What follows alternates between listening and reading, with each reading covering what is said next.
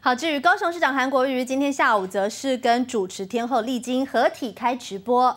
这回丽晶受邀担任高雄九月份的观光大使，特别送上了面膜，要让频频遭到抹黑的韩国瑜说：“你好好敷脸美白一下吧。”而这一段直播，两个人可以说是一搭一唱，过程当中呢，还一度十指紧扣来玩这样的娱乐梗，而且韩国瑜还在直播的过程当中很调皮，去提起了丽晶的本名。让丽晶大翻白眼，掌声鼓励一下，哇，十指紧扣是。一见面送上大大拥抱，还十指紧扣，韩国瑜、丽晶两人相见欢。十指紧扣会很加分呐，好加分哦。谢谢谢谢谢谢，现在加分我就不，我就全身不寒而栗了。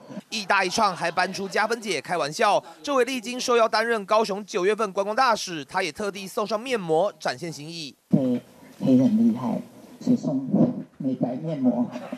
要让被抹黑抹到体无完肤的老同学好好敷个脸。随后两人也开直播忆当年。我没有讲过话，有我没有讲过话。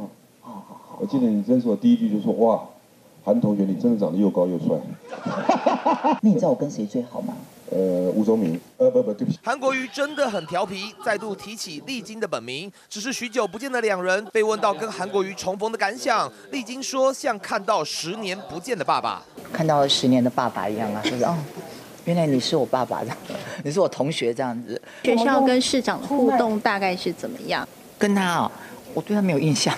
自曝两人以前并不熟，但看到韩国瑜代表蓝营参选总统，被问到二零二零会投谁，历经小心应对。自首一件事情啦，就是我到现在还是没有选过、投过票、选过总统。那明年要首投吗？会投，会投，会投。所有最好的人选在我心中，不要想套我。